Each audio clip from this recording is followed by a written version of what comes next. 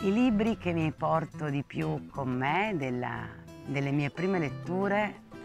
è una bella domanda. Adesso potrei dirti quelli che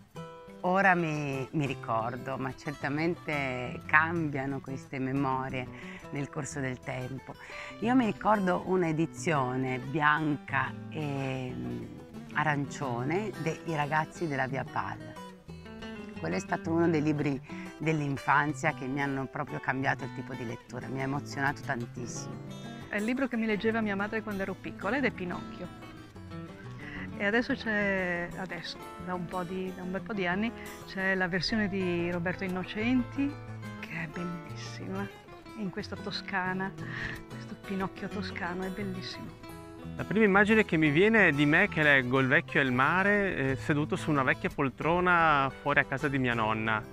Eh, una, una lettura molto appassionata di questo libro in un momento così eh, per me, l'incontro con eh, questo uomo sul mare con, che fa i conti anche con la sua solitudine in quel momento, ma un grande contatto con eh, se stesso eh, e quindi è ecco, un, un'occasione anche per me di mettermi in contatto poi con, con me stesso attraverso la storia di qualcun altro.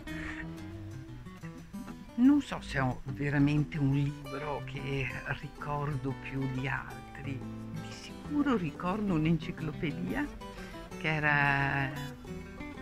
l'enciclopedia del tesoro, mi pare si chiamasse, e, e c'erano le fiabe di Andersen, c'erano molte immagini, quindi non c'è dubbio che già avere l'illustrazione, perché non tutti i libri avevano l'illustrazione e quindi l'illustrazione unita al testo era una cosa che mi attirava moltissimo.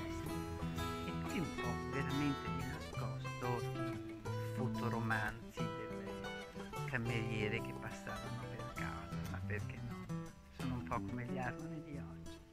Ma i libri che ho letto da ragazzo erano un po' casuali perché non è che avessi una grande eh, preparazione, non esistono le biblioteche, non avevo molti libri in casa, anzi eh, pochissimi, eh, però un libro che mi ha illuminato da ragazzo, un libro abbastanza sconosciuto poi, è Michele Strogoff